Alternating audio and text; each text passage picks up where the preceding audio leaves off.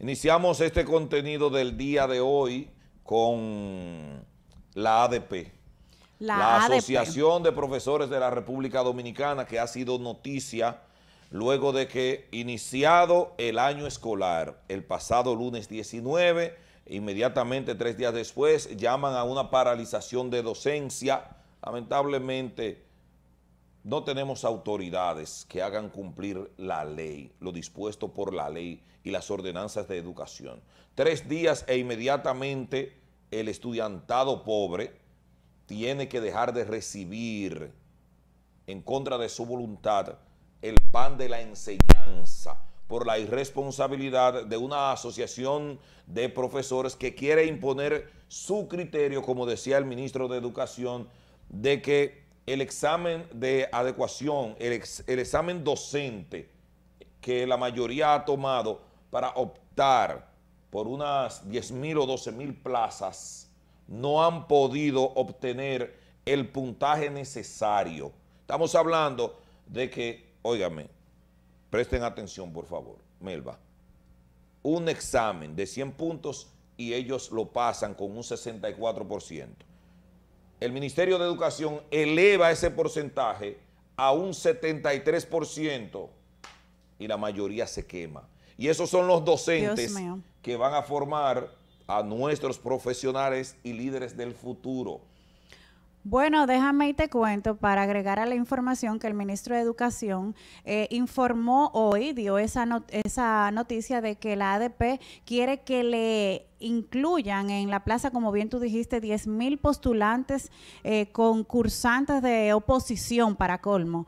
Eh, que aunque esto no tiene mucho que ver, eh, que uno diga, no, pero no, no tienen que ser porque sea del partido contrario. Si usted aplica y hace lo que tiene que hacer, llena los requisitos, pues usted puede incursionar allí. Ahora bien, si no cumple con los, los requisitos, no importa el partido que sea, simplemente no. Si es un PLDista y no sacó buena nota. No va a estar. No pudo tener buen rendimiento por H o por R. Usted no merece ocupar una plaza. Y que simplemente por ser del partido, exactamente, eso iba a decir, por ser del mismo partido, eso no quiere decir que usted, eh, o que estén obligados a usted darle eh, la plaza que le corresponde, pero, pero no. Querida, lo que pasa es que estamos en un año preelectoral y se está hablando... No, y todo es político. De que, muchos postulantes son del Partido de la Liberación Dominicana y que supuestamente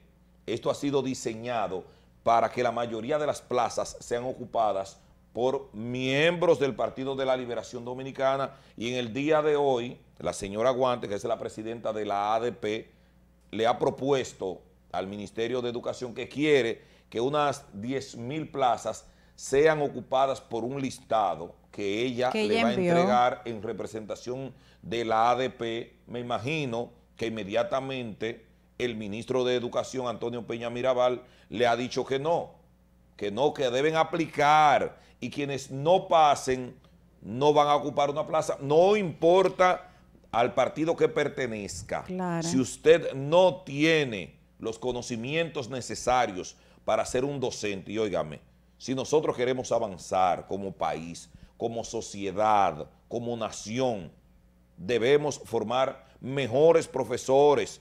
Por eso se hace latente el llamado a las universidades a que enriquezcan el pensum.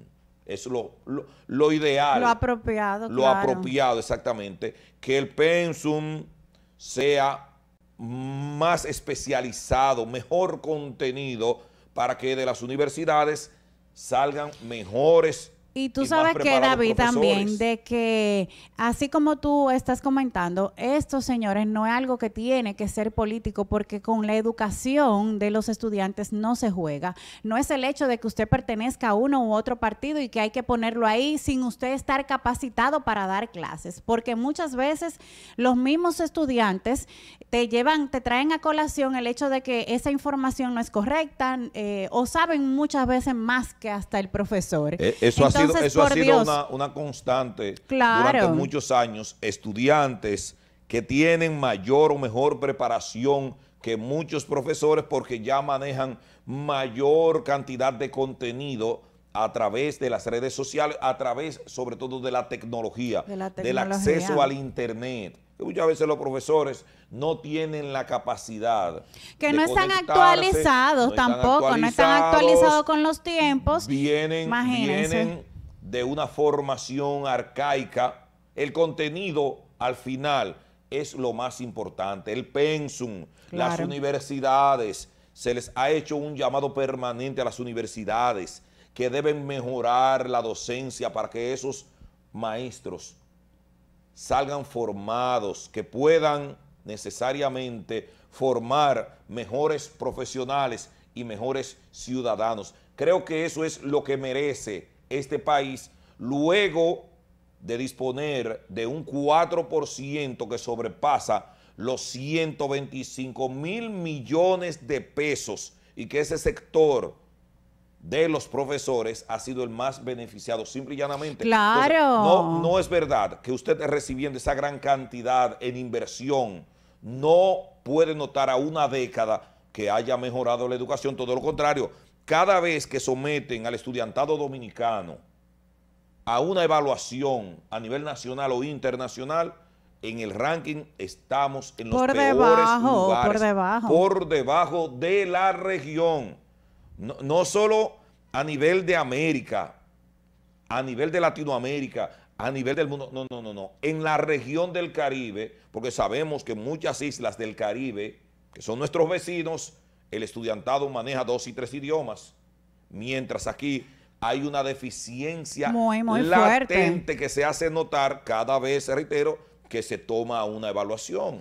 Y también comentarte sobre esto del inicio de clases ahora en los colegios, en las escuelas, mejor dicho, eh, con esto de la tanda extendida que me he dado cuenta por algunos estudiantes que me han comentado, mira, acabo de iniciar las clases y lo que se está haciendo es nada. ¿Tú sabes qué están haciendo la mayoría de los muchachos en la tarde? Ponen música, ponen, eh, eh, salen a jugar, a, hacer otras cosas que, señores, eh, no, llenando, haciendo nada prácticamente, porque no, matando el tiempo. Matando el tiempo. Entonces, ¿cómo es posible que pongan tanda extendida?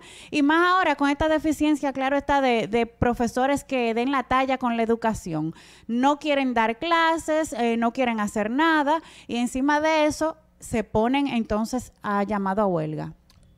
Bueno, el caso es... ¿Qué va a parar? El, caso es que estamos perdiendo la inversión. Se está sacando, eh, óigame, un, un beneficio pírrico. Un beneficio pírrico de esa inversión extraordinaria que estamos haciendo. Y que, lamentablemente quienes lo que terminan pagando por estas acciones son los estudiantes porque se quedan sin, sin coger clases. Los estudiantes pobres. Sí, los, pobres, lamentablemente. que pertenecen también a la ADP no hacen huelga. No pueden faltar, porque mejor si faltan, dicho. los votan, los mandan para sus casas, los mandan inmediatamente para sus casas. Hay que estar claro en eso. En otro tema...